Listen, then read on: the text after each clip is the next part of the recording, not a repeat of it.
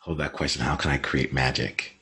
And, yeah. and to bring it that bring that into to the into your day each day. I mean, there's a reason why you and I are talking, right? Um, mm-hmm. there, it happens to be that like we're both really aligned with who it is that we want to, to serve, um, and and how we choose to to serve it.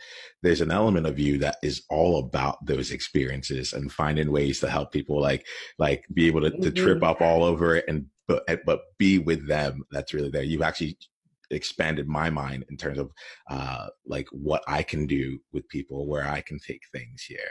So, and the other thing I see with you is that you're constantly trying new things. You're constantly yeah. out there right now.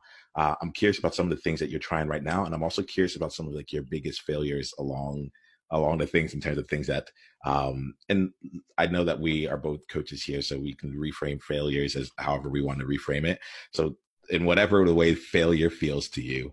Um, I think you know what I'm getting at here. I, like I yeah. want I want to make sure we yeah. talk about that, and then let then let's clear some space to to create some magic, some more magic in this conversation. Sounds wonderful. Yeah, I um I'm pretty good friends with failure, so yeah, I know what you mean as a coach. um, and I will say, just sort of as a my I have a deep deep belief that um, you can treat everything you do from a scientific perspective. I come from a scientific background. Um, and so you say I try everything. I kind of come at it like, how can I go collect data? Um, let me go try this thing and see if it works. And okay, it doesn't work. Okay, let me go try this thing and see if it works. Okay, yeah, that worked. Let's keep going. Um, and one of the things that a lot of people get worried about is if you do that, that you're kind of detached from your heart, you're, you're detached from your emotions. And I strongly believe that you can be disappointed if something doesn't work out. You can also collect data on it. Um, the, the place where it gets dangerous is when your failure then comes to mean something about you um, or about why that thing didn't work. You know, I, I failed, I'm a failure, or that was a bad idea. Maybe it wasn't a bad idea, just for some reason didn't work.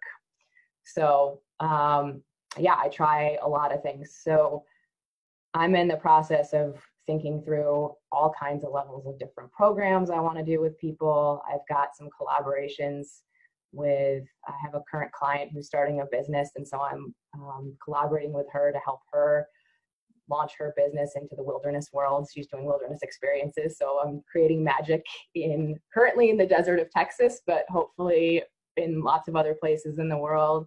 Um, I'm trying out different sort of high level programs for people who might want to take a sabbatical and do some adventuring while also going really deep into that being to figure out what their next level of impact is. Um, I'm experimenting with social media because even though I do love this one on one impact, I have grander plans for impacting millions of people. So I'm playing with social media that I don't even understand, like LinkedIn right now, and very much detaching myself from any expectations of outcomes because I have no idea what I'm doing. Um, but it's great. It's great to see um, more people engaging with me, me building my community. Um, it's fun to be thinking about programs, thinking about who I want to collaborate with. I have about five different people in my head that I want to explore, like what magic we could create together for in person events. So I'm having a lot of fun. Um, we're just getting started. Click on the link below to watch the full conversation and go to niiamahashong.com slash tribe to get additional resources and exclusive invitation to tribe only events. Journey on.